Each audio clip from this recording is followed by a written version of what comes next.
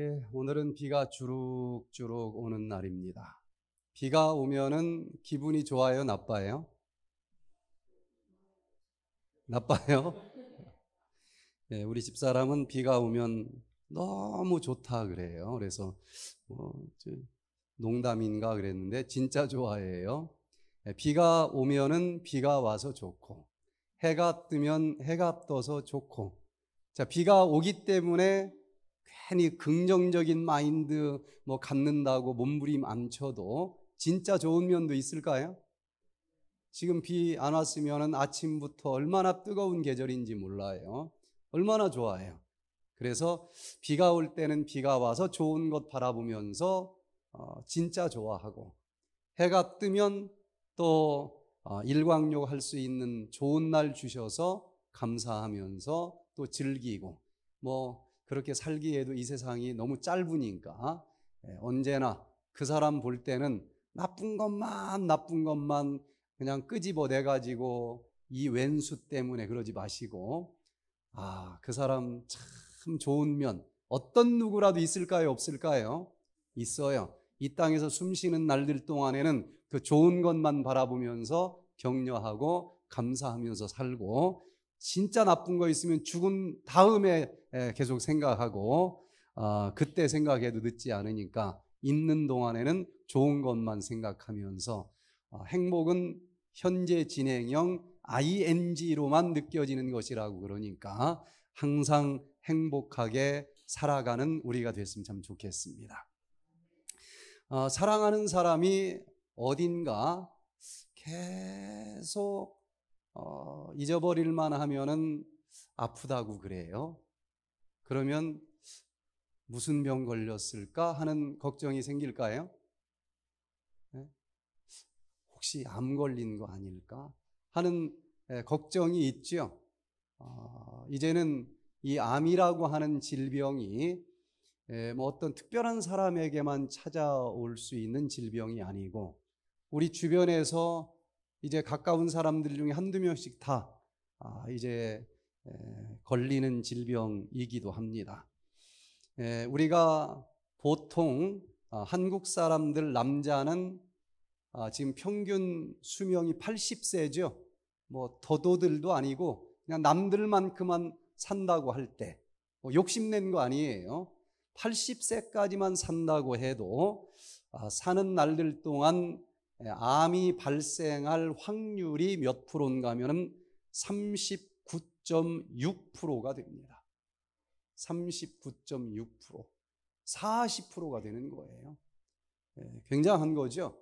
예, 그러니까 암이 뭐 하다 보면 걸릴 수 있다는 얘기예요.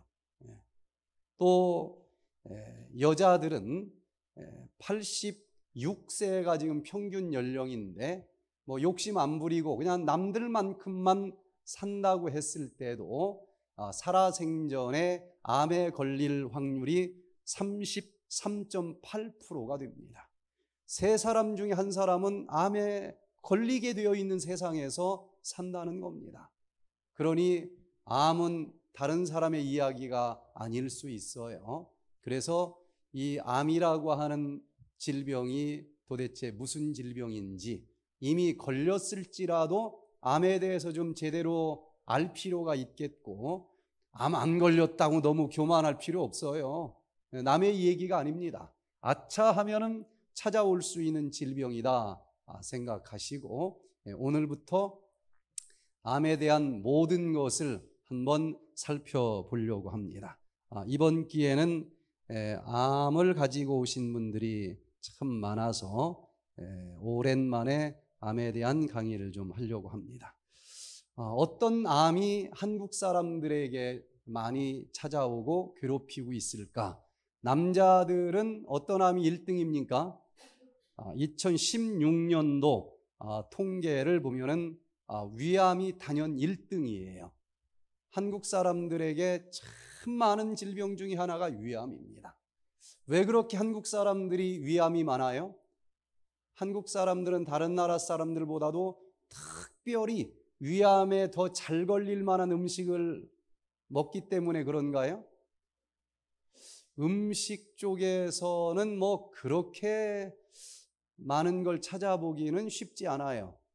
예, 물론 불고기, 뭐 불고기 이게 막 지글지글 탈 때 벤조피렌이라고 하는 발암 물질이 만들어지고 그리고 또 아, 젓갈 넣은 김치, 예, 김치가 소금으로 절여질 때 나오는 질산염, 예, 아질산염과 또 이 젓갈 속에 들어있는 이 아민이라고 하는 단백질이 만나면서 아, 니트로산염, 아, 니트로산염이라고 하는 발암 물질이 나와서 위암이 잘 걸릴 수도 있지만 그것 가지고 이렇게 암이 많이 걸리지는 않을 것 같아요. 위암이 제가 볼 때는 가장 강력한 이유 중에 하나는 한국인들의 빨리빨리 습관과 관계가 있지 않나 하는 생각이 들어요. 정말 빨리 먹습니다. 이 유럽에 이렇게 여행을 하는데 아, 식당을 한번 우리가 단체로 들어갔더니 식당 주인이 너무너무 좋아하는 거야. 뭐 하여튼 민망할 정도로 격하게 환영을 해서 아니 왜 그렇게 좋아하느냐 그랬더니 안 좋아할 수가 없대요. 어?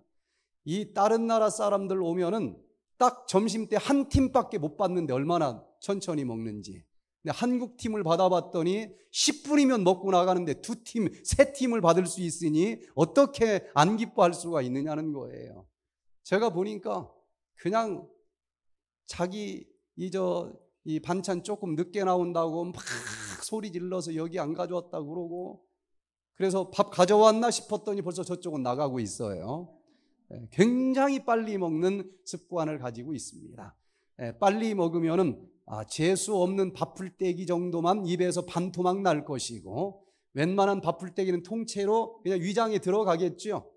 그러면은 이 위장 밑에 있는 유무는 위장에 들어온 음식이 완전히 유미 즙이 되기 전에는 열어주지 않도록 세팅이 되어 있는데 요 밥풀떼기를 죽이 될 때까지 만들 수 있는 무기는 아, 위장에서는 이빨도 없지 그냥 위산밖에 없어요. 그래서 100번 아, 씹는 사람보다도 더 위산이 많이 분비돼야 되고 그러나 안타깝게 위산은 탄수화물을 소화시킬 수가 없습니다. 단백질을 소화시켜주는 효소예요. 그래서 위산이 많이 나옴에도 불구하고 밥풀떼기는 좀처럼 녹질 않아요. 그래서 밥풀떼기가 녹기 전에 위장 벽은 뭘로 만들어졌어요? 단백질로 만들어졌어요. 그래서 위장 벽이 먼저 녹아서 위염, 위궤양, 위암이 올 수밖에 없다고 하는 것입니다. 위장병과 위암을 가지고 있는 사람들 거의 공통적으로 아, 조사를 해보면 빨리 먹는 습관을 가지고 있다고 하는 거예요.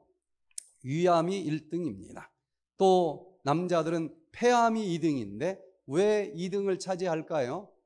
담배를 많이 폈어요. 아, 요즘은 꽤 많이 흡연율이 줄어들었지만 담배는 끊어도 예, 끊으면 상당히 줄어들지만 그래도 옛날에 피었었던 대가를 상당히 지불해야 된다는 것을 알게 됩니다. 폐암이 2등, 또 대장암, 대장암, 직장암은 고기를 많이 먹을 때에 채소보다도 독소가 10배 이상 많기 때문에 이것이 이 배설되기 전에 마지막 장의 끝부분에 대해서 끝부분에서 재흡수가 되면서 또 대장암, 직장암 발생률이 높아지는 것을 보는데 우리나라 사람들도 이제 뭐 서양 사람들 못지않게 고기를 많이 먹어요.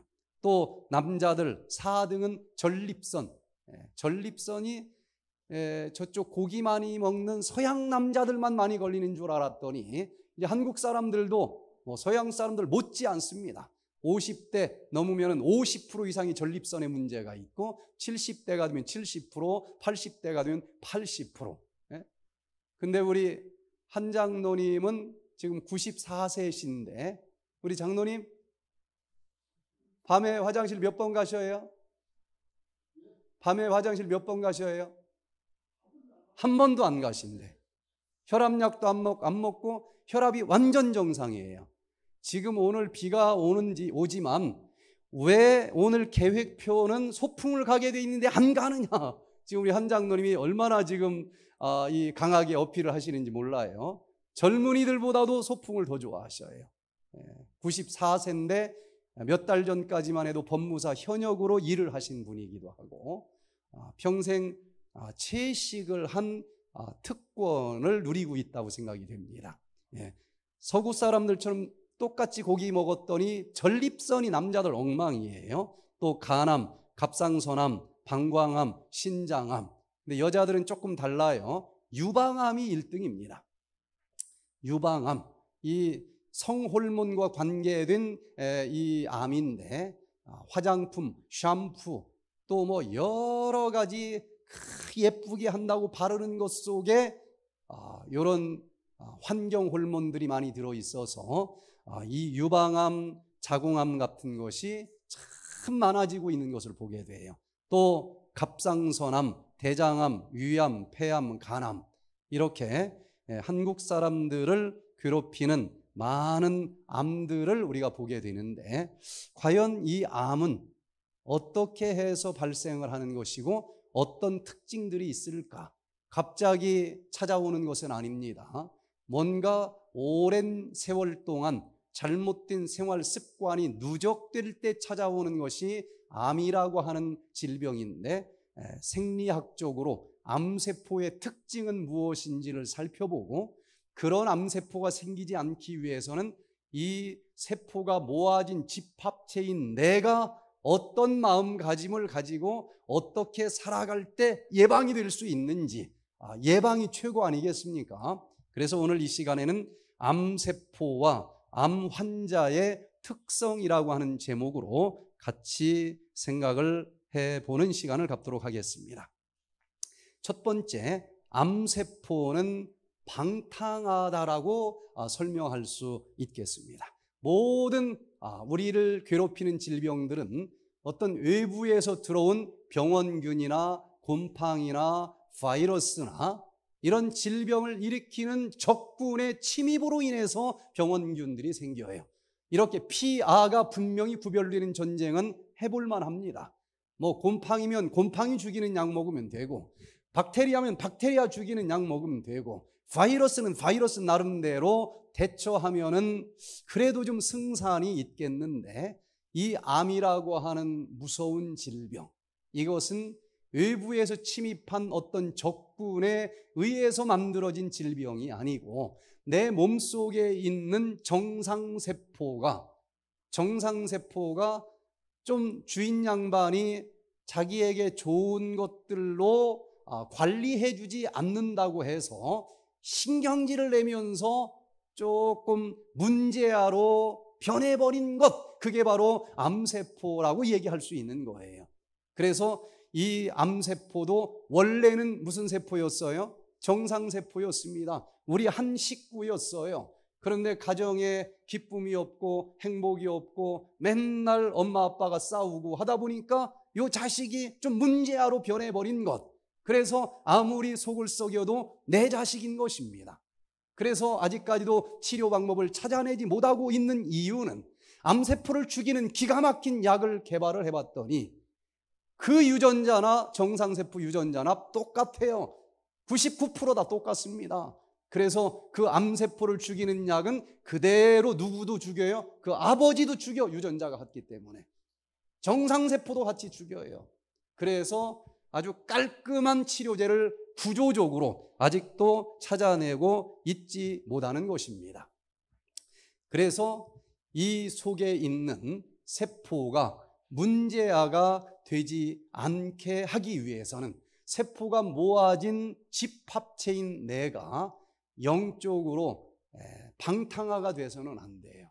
문제화가 돼서는 안 됩니다. 하나님이 원래 만들어 주셨었던 그 하나님의 형상대로의 깨끗하고 사랑스럽고 화목한 마음을 계속 유지하고 살아가는 것이 이 속에 있는 세포가 방탕화로 변하지 않게 해주는 비결이라고 생각이 됩니다. 마태복음 23장 25절에 화 있을진저 외식하는 서기관들과 바리새인들이여 잔과 대접의 겉은 깨끗이 하되 그 안에 있는 탐욕과 방탕으로 가득하게 하는도다.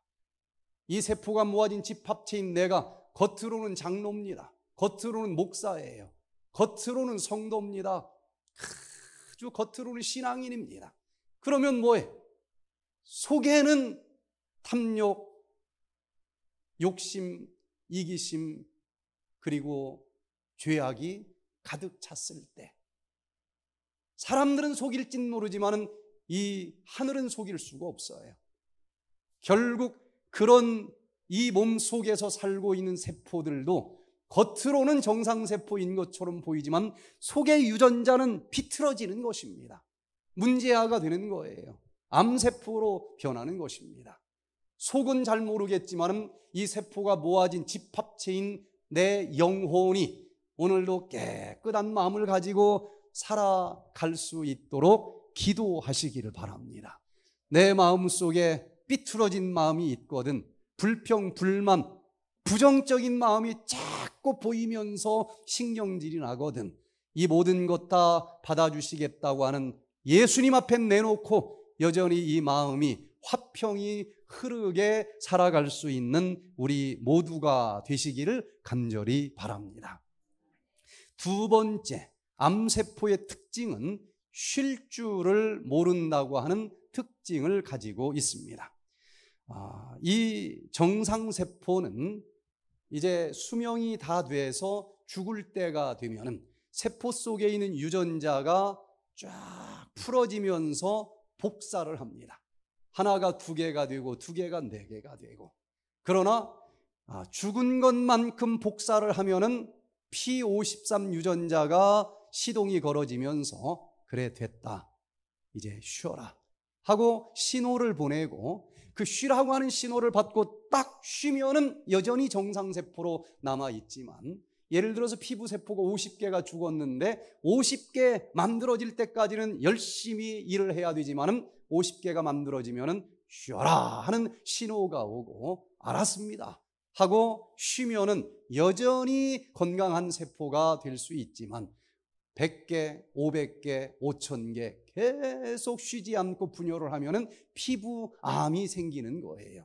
그래서 이 바빠 죽겠는데 왜 쉬라고 할까 하고 쉬어 보니 그 명령을 순종해 봤더니 P53은 괜히 쉬라고 한 것이 아니고 쉬어 줬더니 열심히 일을 하면서 망가진 유전자를 치료해 주는 일을 또 한다는 사실이 밝혀졌습니다. 내 몸속에서 이렇게 쉼없이 계속 분열을 하는 암세포가 생기기를 원치 않거든. 너무너무 과로하게 뛰지 마시기를 바랍니다. 열심히 뛰어야 되지만 때로는 모든 건 내려놓고 쉴 줄 알아야 살아가면서 망가진 마음들, 망가진 세포들이 다시 수리되고 재충전될 수 있다고 하는 것입니다. 그래서 하나님께서 모세에게 신의 산에서 너희들 요런 법칙을 지키면서 살아라. 그래야 이 땅에서 살면서 중간에 부러지지 않고 어? 떤 험한 일들이 있을지라도 또 고쳐지고 재충전되면서 육체뿐만 아니라 영혼까지 지치지 않고 행복하고 건강하게 살 수 있다 해서 열 가지로 요약을 해서 십계명이라고 하는 것을 하나님이 친히 손가락으로 돌비에다 꾹꾹 눌러서 써 주신 것이 있는데 그 중에서도 가장 한 복판 한 가운데에다가 기록해 주신 법칙은 안식, 편안한 안자에다가 쉴 식자 모든 것 하나님께 내려놓고 편안하게 쉬라고 하는 법칙을 주셨다고 하는 것입니다. 암에 걸린 사람들 대부분은 쉬지 않고 너무 무리하게 살았기 때문에 이 세포도 견디지 못하고 비틀어져서 나타나는 현상인 것을 알게 됩니다. 그렇다고 해서 맨날 쉬면 굶어 죽기 딱 좋아해요. 그래서 여기 보니까 6일 동안은 열심히 열심히 일을 하라는 것입니다. 그리고 일정한 휴식의 법칙과 함께 일곱 번째 날은 모든 것 내려놓고 쉬어라. 이 쉼의 법칙을 거부했기 때문에 오늘날 현대인들에게 수많은 종류의 질병들이 찾아옵니다. 낮에는 일을 했지만 밤에는 쉬어야 돼요. 또 한 50분 일을 했으면 한 10분 정도는 잠깐 한숨을 돌려줘야만 됩니다. 우리 몸에 입력된 이런 활동과 휴식의 리듬을 잘 지키면서 일평생 뛸지라도 이 세포가 암세포까지 어긋나지 않도록 그렇게 예, 인생은 장거리를 달리는 아, 달리기와 같다라고 하는 생각을 가지고 이렇게 잠시 동안 조용한 숲 속에 와서 휴식도 취할 수 있는 여유로운 자, 정말 행복한 그런 삶을 살아갈 수 있기를 간절히 바랍니다. 수고하고 무거운 짐진 자들아 다 내게로 오라. 내가 너희를 쉬게 하리라. 예, 바쁜 세상이지만 가끔은 내 마음의 짐 내가 끝까지 짊어지지 마시고 예수님 가슴에 다 내려놓고 진짜 진짜 평안한 쉼을 누리면서 내 마음도 상처받은 것 치료될 수 있는 시간을 아, 손으로 딱 잡으실 수 있기를 바라고 우리의 육체도 일주일에 한 번 정도는 푹 쉬면서 망가진 유전자 치료해 줄 수 있는 시간을 가지면서 살아가는 자들은 아, 예수님이 오시는 그날까지 영혼뿐만 아니라 몸까지 흠없이 보존되어 건강하게 예, 살아남을 수 있으리라고 믿습니다. 세 번째, 암세포의 특징은 세포와 세포 사이에 대화의 통로가 막혔다라고 하는 특징을 가지고 있습니다.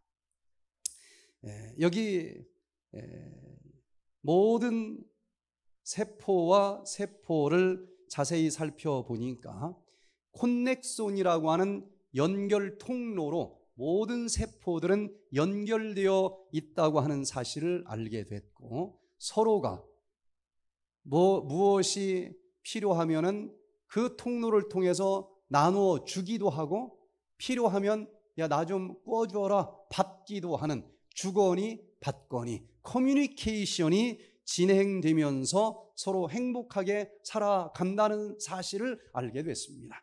그래서 이 코넬 대학에서 연구한 연구 결과를 보니까 란셋 이 저널에 2002년 1월호에 발표된 연구 결과를 보면은 모든 세포는 콘넥손이라고 하는 연결 통로를 통해서 주거니 받거니 대화를 아, 나누면서 사는데 암세포는 왜 암세포인가 하고 보니까 이 연결 통로 콘넥신 콘넥손이 막혀버렸다는 사실을 알게 됐어요.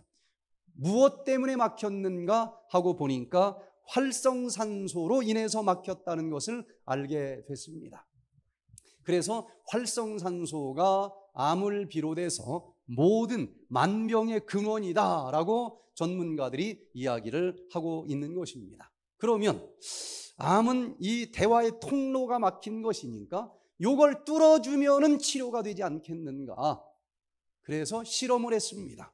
활성산소가 이걸 막아주었으니까 이걸 뚫어주는 치료제는 활성산소에 대항해서 치료해주는 항산화제일 것 아니냐.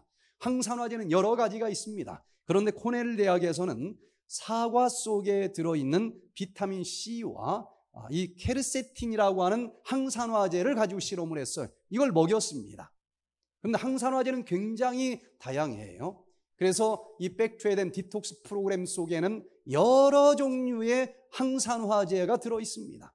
그랬더니 요 항산화제가 몸속에 들어가 세포와 세포 사이에 막힌 통로 활성산소를 싹 제거해 주면서 다시 이 통로가 연결되니까 암세포 쪽에서 야, 나 살다 보니 방사선으로 한 방 딱 맞아서 P53 유전자가 망가졌어. 나 지금 암세포로 죽어간다.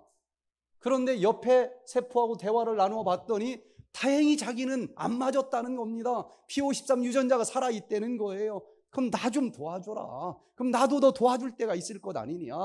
그랬더니 그럼 도와주고 말고 옆에 있는 정상세포의 P53 유전자가 막 활동을 하면서 P53 인산 단백질이라고 하는 활성산소를 만들어서 그 connection 연결 통로를 통해서 암세포에게 이 암 치료 물질을 쫙 보내줬더니 놀랍게도 이 암세포가 다시 정상세포로 회복된다라고 하는 사실을 그 유명한 Lancet지에 발표를 했습니다. 그래서 Back to Eden에서 치료하는 모든 프로그램은 예, 그냥 민간요법 차원의 것은 거부합니다.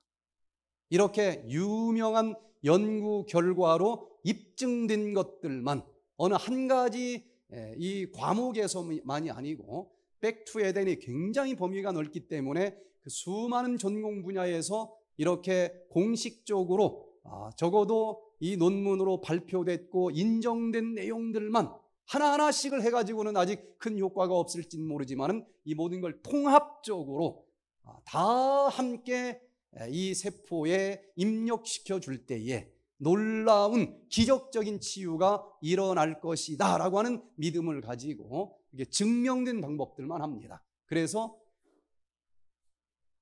사과를 짜주어도 되겠지만은 우리는 더 깊이 연구 논문들을 찾아서 포도즙을 짜서 먹습니다. 생 포도즙에 삶아서 짜는 건 짜기는 쉽지만은 효소가 다 죽어요. 그래서 하나하나 이제 왜 포도여야 되는지 또 설명할 시간들이 있을 것입니다. 그런데 아무리 아무리 요거 받아 먹으면 너 낫는다 해도 대화의 통로가 딱 막혀서 죽어도 문을 안 열어주는 사람들이 있어요. 예수님께서 네가 어떤 질병에 걸렸어도 상관이 없다. 2000년 전에도 내가 이 땅에 직접 와서 보여줬지 않았느냐. 어떤 불치병이라도 마음 문만 열어봐라. 내가 들어가면은 너로 더불어 내가 먹고 나는 너로 더불어 먹으면서 치료제 부어주겠다. 그래서 오늘도 계시록 13장 15절에서 말씀하신 것처럼 볼지어다 내가 문 밖에 서서 두드리노니 누구든지 내 음성을 듣고 문을 열면은 내가 그에게로 들어가 그로 더불어 먹고 그는 나로 더불어 먹으리라. 여러분 오늘도 그 예수님께서 내 마음의 문을 노크하고 계십니다. 그 마음의 문을 활짝 열어 보시고 치료자 되시는 예수님을 영접하시기를 바랍니다. 암을 비롯해서 어떤 종류의 질병이라 할지라도 깨끗이 치료해 주실 수 있을 줄로 믿습니다.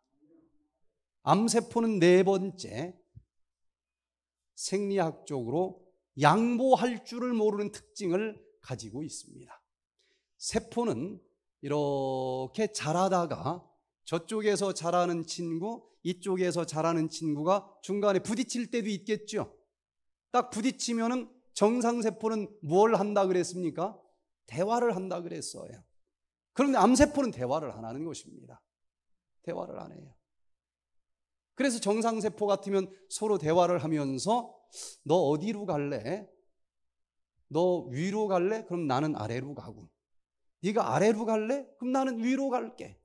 서로 양보하는 정신을 가지고 있어서 정상세포 잘라 보면은요. 한 층 위에 그 다음 층, 그 다음 층 아주 질서정연하게 한 층씩 발달되어 있는 것을 보게 됩니다. 그런데 암세포는 대화가 없어요. 양보가 없습니다. 그냥 자기만 갈 대로 간다는 거예요. 그러다 보니까 서로 부딪혀서 위층, 아래층 개념이 없어지고 뒤죽, 박죽 그러면서 막 삐쭉 뾰쭉 막 이상하게 울퉁불퉁 자라는 거예요. 그래서 암세포는 이 양보하는 정신이 없어서 생기는 다는 것을 알게 되는데 내 몸속에 이런 암세포가 생기지 않기 위해서는 어떻게 해야 될까요? 이 세포가 모아진 집합체인 내가 내가 가능하면은 너 어디로 갈래? 네가 왼쪽으로 갈 거야? 그래. 그럼 나는 오른쪽으로 갈게.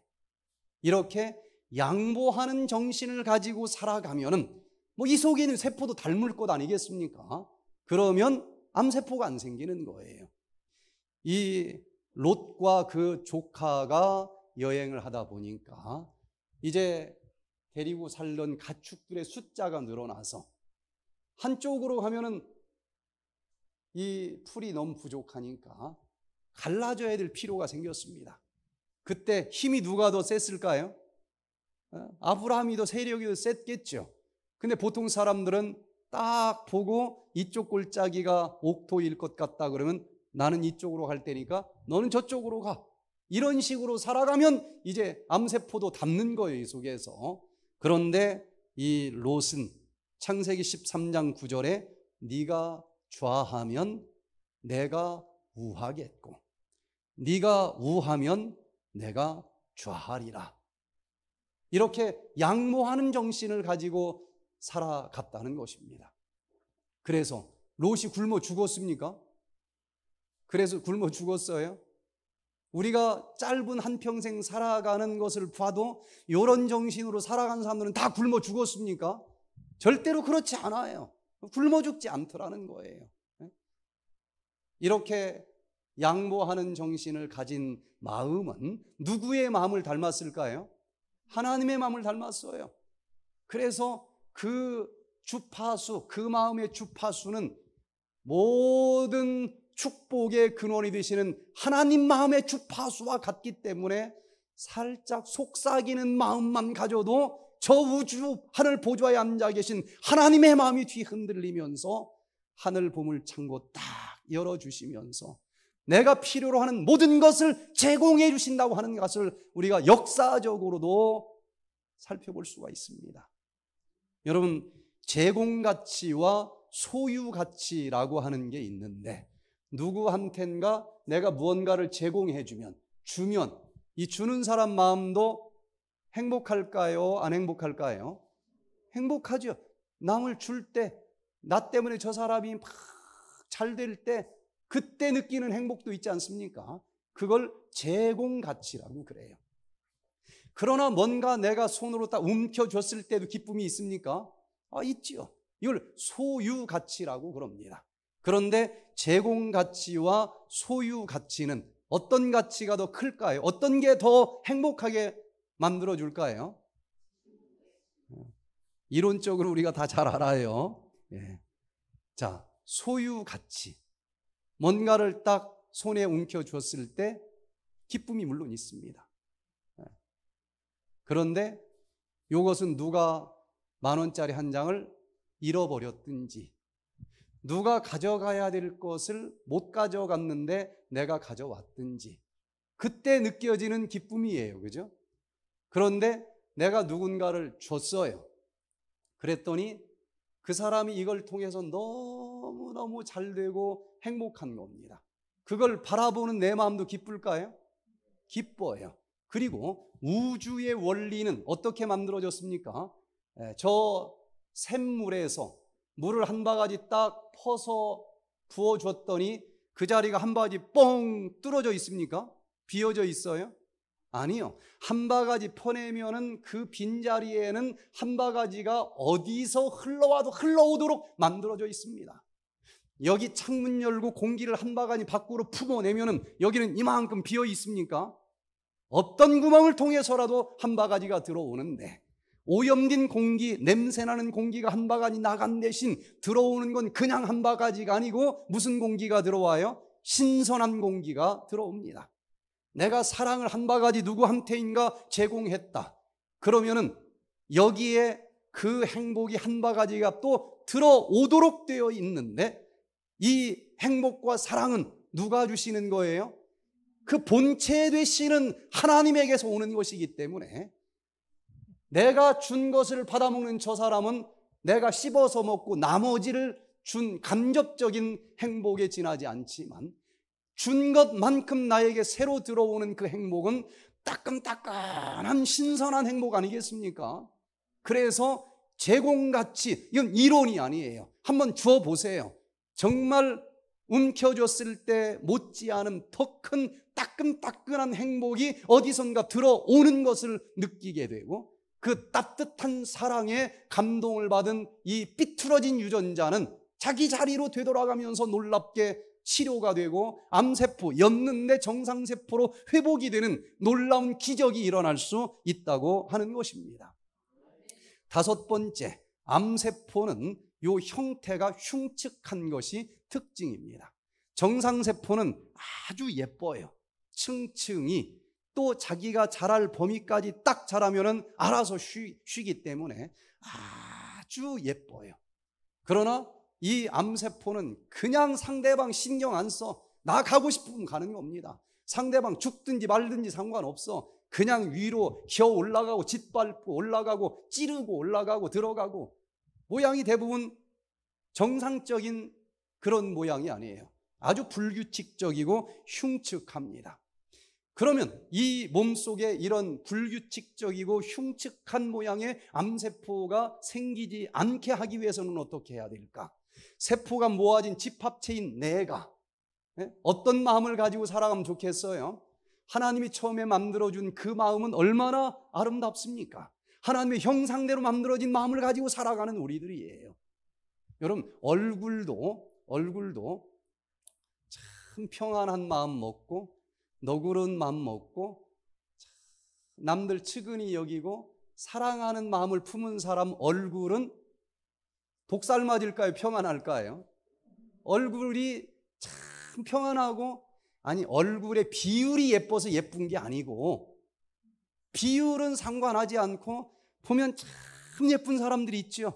어? 참 정말 덕이 있을 것 같고 사랑이 있을 것 같고 어? 여러분 이 마음 속에 그 하나님의 아름다운 형상의 마음들을 품으면서 살아가시기를 바랍니다. 그럼 이 세포도 닮아요. 예쁘게 자라게 되어 있습니다. 로마서 1장 21절부터 보면은 하나님을 알되 하나님으로 영화롭게도 아니하며 감사치도 아니하고 오히려 그 생각이 허망하, 허망하여지며 미련한 마음이 어두워졌나니 스스로 지혜 있다 하나 우준하게 되어 썩어지지 아니하는 하나님의 영광을 썩어질 사람과 금수의 버러지의 형상의 우상으로 바꾸었느니라. 하나님의 아름다운 형상, 사랑하고 감사하고 기뻐하고 행복을 노래 부르는 그 아름다운 하나님의 영광의 품성을 여기에 넣어 주셨는데 안타깝게도 우리는 어느 순간 썩어 없어질 짐승과 버러지의 형상으로 마음이 이그러져 버렸다는 거예요. 그 마음을 가진 사람 몸속에 있는 세포도 어떻게 안 닮을 수 있겠어요? 암세포로 결국은 변해 버리게 되어 있다는 것입니다. 세포가 모아진 집합체가 어떤 이그러진 마음을 가지면 이 속에 있는 세포도 이그러지면서 암세포로 변할까? 이어서 보면은 또한 저희가 마음에 하나님 두기를 싫어함에 하나님께서 저희를 그 상실한 마음대로 내어 버려 두사 합당치 못한 일을 하게 하셨으니 곧 모든 불의, 추악, 탐욕, 악의가 가득한 자요 시기, 살인, 분쟁, 사기, 악독이 가득한 자요 수군수군하는 자요 하나씩 자세히 설명 안 하겠습니다. 여기 있는 마음들을 이 세포가 모아진 집합체 내가 계속 담기를 좋아해요. 그냥 수군수군 수군. 언제나 느끼는 것인데 똑같은 음식을 먹고 똑같은 장소에서 생활을 하는데도 음식이 너무 맛있다. 어쩜 이렇게 간이 잘 맞아? 이런 마음을 가진 사람들은 세포도 닮아요. 근데 아이고 이게 뭐, 뭐 반찬이라고 만들어 놨어. 그냥 맨날 수근수근 수근수근. 이 속에 있는 세포도 닮아요. 어? 닮습니다. 탐욕. 참 감사한 것은 아, 여기 들어오시는 분들이 어떤 때는 보면은 일요일 날, 월요일 날 저희들 긴장을 합니다. 별의별 사람들이 여기저기서 오는데 각자 자기가 살던 위치가 있고 막 자기 습관들이 있는데 아 감당 못할 사람들이 많이 들어와요. 아, 소리 지르는 사람 뭐 어, 뜸방에 왜 여기까지 발을 뻗었느냐 뭐 했느냐 뭐, 뭐 아주 굉장해요. 근데 딱 월요일, 월요일 날만 지나면은 다 천사처럼 마음이 변해요. 전 그게 너무너무 감사합니다.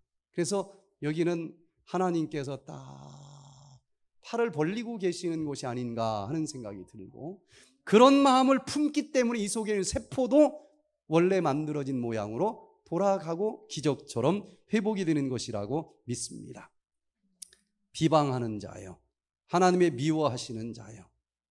능욕하는 자요. 교만한 자요. 자랑하는 자요. 악을 도모하는 자요. 부모를 거역하는 자요. 우매한 자요. 배약한 자요. 무정한 자요. 무자비한 자라. 이거 1년 동안 강의해도 다 함이 없어요. 요거 하나하나를 다시 적어 놓고 내 마음속에 이게 있는지 잘 살펴보시고 여기 피골 계곡에다 다 씻어서 버리, 버려보시기를 바랍니다. 그때 암세포도 씻어지고 정상세포로 회복이 될 거예요. 여섯 번째, 암세포는 전이성이 강합니다. 자기만 썩었으면 됐지 옆에 있는 세포로 계속 이걸 나누어 줘요. 네. 그래서 이 암세포는 하나 그까지 하나가 그렇게 무서운 건 아닌데 얘가 가만히 안 있어요. 옆에 있는 정상세포 다 꼬셔가지고 전부 자기처럼 불평불만자로 만들어 놓는 거예요. 전이가 되는 것입니다. 그러면 어떤 사람 몸 속에 이런 이런 전이가 잘 되는 암세포가 자꾸 생기고 번질까? 세포가 모아진 이 집합체가 자기 혼자 기분 나쁘면 그냥 혼자 기분 나쁘고 말지. 옆에 사람한테 소근거려서 나누어줘. 이런 사람에게 이 암세포도 자꾸 전이가 되는 거예요. 히브리서 12장 15절 16절에 보니까 너희는 돌아보아 하나님의 은혜에 이르지 못하는 자가 있는가 두려워하고 또 쓴 뿌리가 나서 괴롭게 하고 많은 사람이 이로 말미암아 더러움을 입을까 두려워하고 음행하는 자와 혹 한 그릇 식물을 위하여 장자의 명분을 판 에서와 같이 망령된 자가 있을까 두려워하라. 여러분 내 마음속에 혹시 쓴 뿌리가 나지는 않았는지 뒤돌아보시기를 바랍니다. 그리고 이 쓴 뿌리는 금방 옆에 있는 밥까지 다 번져버려요. 이걸 누구한테인가 자꾸 전하고 싶어 하는 욕망의 뿌리를 잘라버리시고 뽑아 버리시기를 바랍니다. 그걸 막 얘기하면 속이 후련할 것처럼 보이지만은 잘 뒤돌아보세요. 한 시간 하고 났더니 가슴이 어때요? 막 기쁩니까? 뭔가 허전하고 공허하고 참 괴롭지 않습니까? 암세포는 그 쓴 뿌리에 즙을 먹고 살아가는 거예요. 요걸 버려보시기를 바랍니다. 일곱 번째, 암세포는 사랑받을 줄을 모릅니다. 사랑을 주는데, 치료제를 주는데, 받아먹으면 치료가 돼요. 그러나 그걸 받아먹지 않는 사람들이 이 암세포가 되는 것입니다. 그래서 아, 실험을 해 봤어요. 시험관에서 가만히 예, 암세포가 어떻게 자라는가 하고 아, 관찰을 했더니 그 암세포 주변에 이상한 인산이 포함된 단백질들이 많이 암세포 주변에만 많이 있는 거예요. 그래서 초창기 연구할 때는 요 물질이 뭔지 모르지만 암세포 주변에만 얘가 많은 것 보니까 얘 때문에 암세포가 생기나 보다. 발암 물질로 오해를 한 적도 있습니다. 그런데 나중에 더 깊이 연구를 해보니까 이건 P53 유전자가 만들어서 내보내준 P53 인산 단백질인데 놀랍게도 요 인산 단백질을 암세포가 받아 먹기만 하면 정상세포로 치료되는 치료제라고 하는 사실을 알게 됐어요. 근데 참 감사한 것은 요 치료제가 정상세포보다 어디에 더 많이 지금 퍼져 있어요? 암세포. 치료자 되시는 하나님도 똑같습니다. 죄가 많은 곳에 은혜가 넘치도다. 나같이 하나님 일평생 안 믿고 삿대질하고 욕하고 이렇게 산 사람이 아, 하나님 찾을 수 있겠어, 내가? 하나님 기도 받을 수 있겠어, 나 같은 사람이? 그건 하나님을 오해한 것입니다. 하나님은 죄가 많은 곳에 더 풍성한 치료제, 은혜를 주시는 분인 것입니다. 그러면 그럴수록 더 사랑하시는 분이에요. 죄가 많을수록 더 많은 애정과 더 많은 사랑을 안고 와서 요걸 받아 먹어라. 받아 먹기만 하면 너는 낫는다.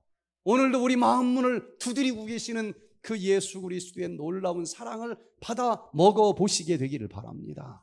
그러면 치료가 되는 거예요.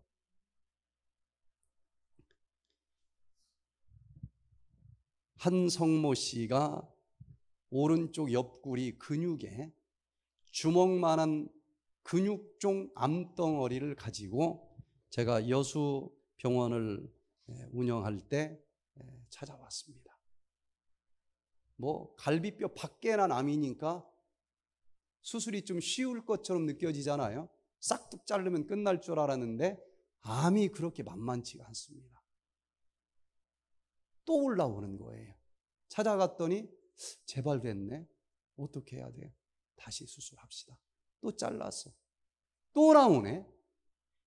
이제 바보가 아니니까 저 묘지 위에 있는 쑥 잘라는, 잘라본 기억이 나는 거죠. 아, 이렇게 해서 이게 될 일이 아니구나. 자를 때마다 나오는데 뿌리는 더 굵어져요. 아, 이게 아니구나. 이제 생각이 돼서 이 여수병원에 찾아왔습니다. 저는 요 육체의 암덩어리를 보기 전에 그 사람의 마음의 뿌리를 먼저 보려고 노력을 합니다. 상담을 했더니 이 마음 속에 증오심이 막 이글이글 끌어올라와요. 특별히 암을 가지신 분들은 마음 속에 미움을 먼저 해결을 해야 됩니다. 요게 있는 한은 세포가 모아진 집합체가 누군가를 미워하고 막 찌르고 싶고 그런데 이 속에 있는 세포도 안 남겠습니까? 암세포도 그냥 옆에 있는 애 누구 찌르고 싶고 막 뒤집어 엎고 싶고 난리를 치는 거예요. 그런데 그 미움이 얼마나 얼마나 강력한지 제가 옆에서 자세히 봤어요. 한 일주일 지났는데 남편이 성남에서 병문안으로 왔습니다. 아, 그때만 해도 여수가 멀었어요. 버스를 몇 번 갈아타고 왔는데 거의 9시간이 걸렸나 봐요. 9시간 걸려서 이제 자기 부인 병문안을 왔는데 원무과에서 입은 방을 두드렸습니다. 남편이 병문안 왔어요. 그랬더니 아니 그냥 옆에 그냥 가까운 데 왔을 때는 뭐 시간 남으니까 왔겠지. 그럴 수도 있지만 아홉 시간 걸쳐서 그 멀리까지 왔는데 동기야 어떻든 지간에 그 찾아온 것 자체는 감사한 거 아니겠습니까? 그 소리를 듣자마자 얼굴이 그냥 색깔이 변해. 그러더니 문을 열고 원무과 현관 쪽으로 가는 게 아니라 뒷문으로 나가가지고 산속으로 가는 거예요. 얼마나, 얼마나 미운지. 그날 밥 먹으러도 안 오면서 안 내려오는 겁니다. 남편이 기다리다, 기다리다 지쳐서 얼굴도 못 보고 돌아가는데 그쭉 처진 그 뒷모습을 보면서 얼마나 안타까운지 아니 아무리 미워도 그렇지 빚쟁이, 빚쟁이가 온 것도 아니고 그냥 마음까지는 안 줘도 해 왔어 잘 가. 뭐 입으로라도 그렇게 하고 보내면 좀 어땠을까? 아니 얼마나 미우면 저럴까? 제가 막 속이 상한 거예요. 그래서 이분을 만나서 남편을 용서해 줘야 그 암이 낫겠습니다. 그랬더니 다 용서해 줘도 그 작자는 용서 못 해준대. 그래서 저도 너무 속상해가지고 뭐 그럼 어떻게 그냥 암덩어리 갖고 살아야지. 아 그랬더니 기분이 나쁜가 봐. 근데 그게 충격이 됐어요.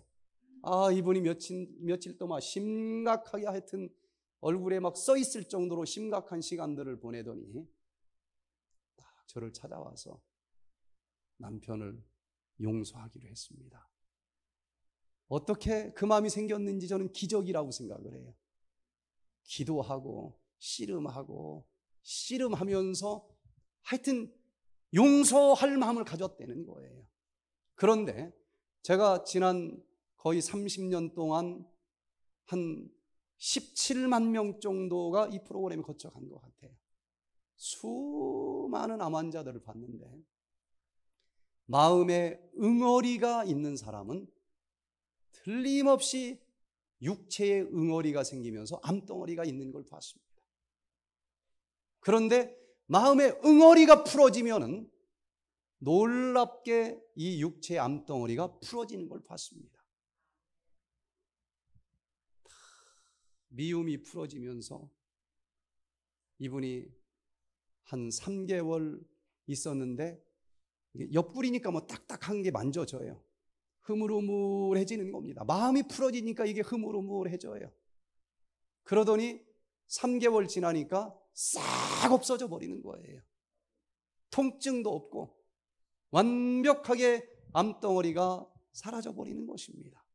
얼마나 좋아졌는지 중환자로 참여했다가 나중에 소식을 들어보니까 어떤 큰 요양원에서 식당에서 직원으로 일을 한다는 소식을 들었고 또 한 25년이 지난 다음에 제가 오랜만에 여수병원을 갔더니 거기 천연치료 실장으로 또 일을 하고 있어요.